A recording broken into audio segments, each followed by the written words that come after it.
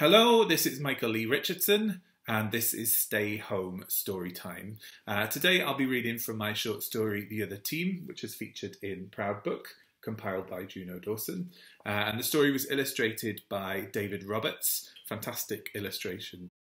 Uh, I'm only going to read a little bit of the story today because it's quite a long one. But just to give you some context, the story is about Ethan, who is a young trans guy uh, who's on a football team called Mosaic, and it's about how the team support Ethan as their star player. Uh, so this is the other team. Anything from the trolley, Henny? Alistair lisps as he minces down the aisle of our beaten up bus. He's wearing the same tracksuit as the rest of us navy blue joggies and a navy blue jacket with the team's logo on one side and the logo for the cockpit, a local queer bar, on the other.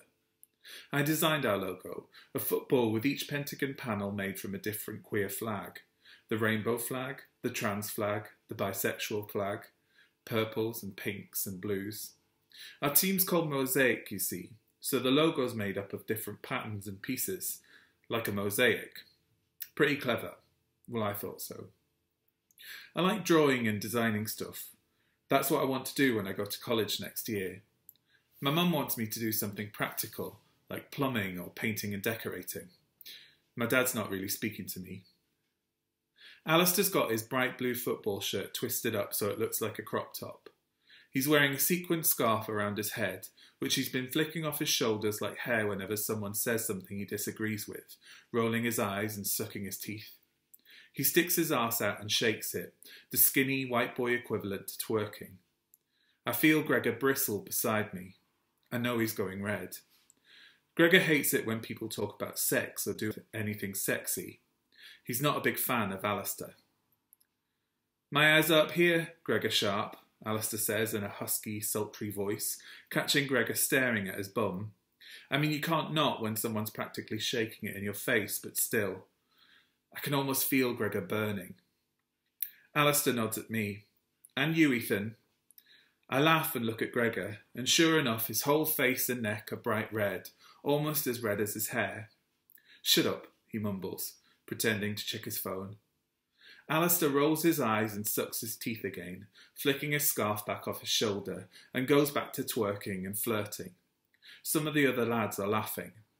Liam, our goalie, who's the size and shape of a wardrobe, all broad shoulders and Daveed Diggs hair, is filming Alistair for his Snapchat story and cracking up. Alistair, loving the attention, spins around in front of Liam.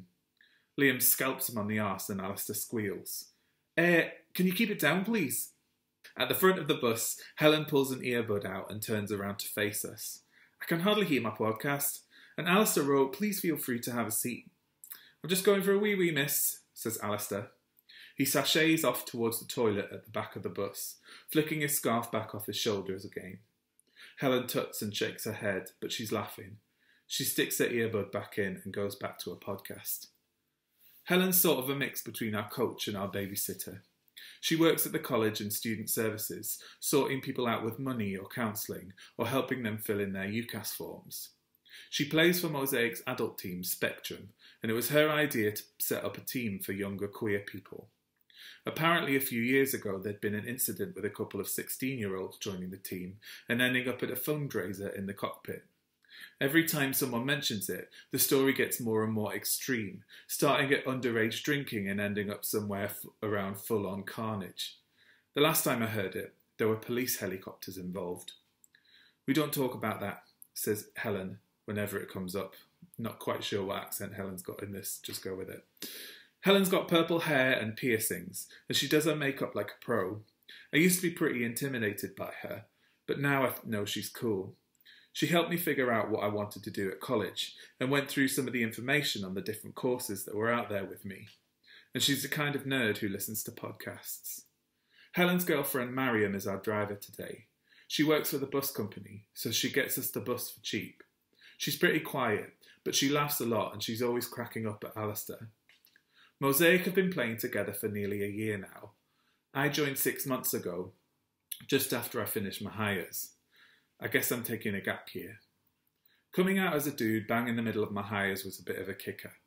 My mum was alright about it. If anything, she was too accepting and wanted to have a heart to heart about sex and gender, and specifically my sex life and gender, every five minutes.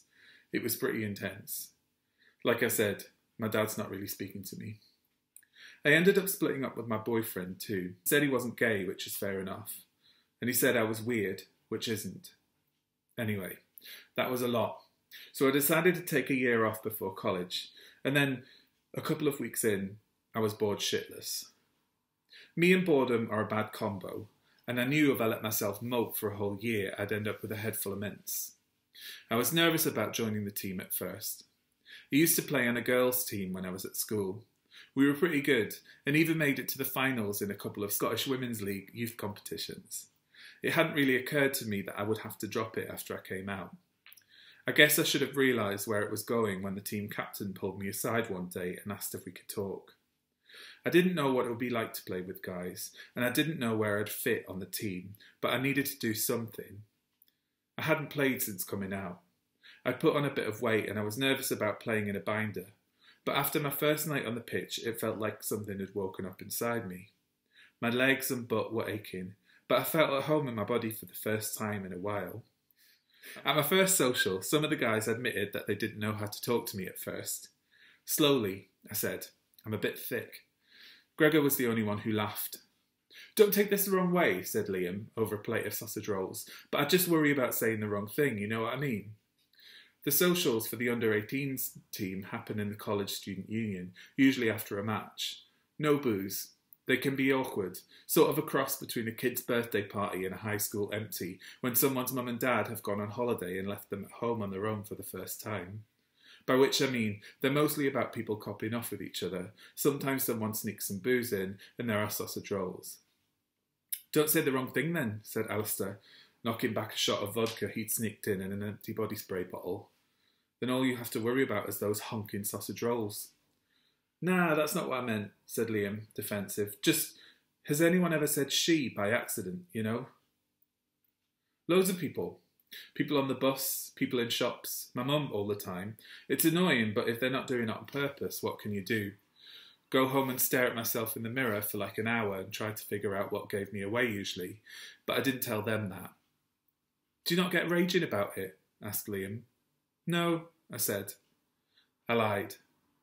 I don't know why anyone would call you she, said Alistair over the top of his body spray bottle. It was the first time I'd ever heard him say something that wasn't a comeback or a joke, and it was like his whole face had changed. You don't look like a she. You don't seem like a she. Gregor had been staring for a while. We'd never really spoken off the pitch. I've never met a trans guy before, he said. That you know of, I said. That I know of, yeah, he said. Anyway, nice to meet you.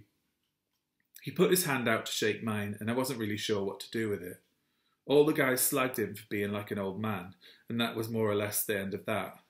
Since that first social, it's actually been pretty good. The guys have always treated me like one of the lads, and it's good to feel part of the team. There you go. Uh, and you can read the rest of that story uh, in Proud, compiled by Juno Dawson. Thanks.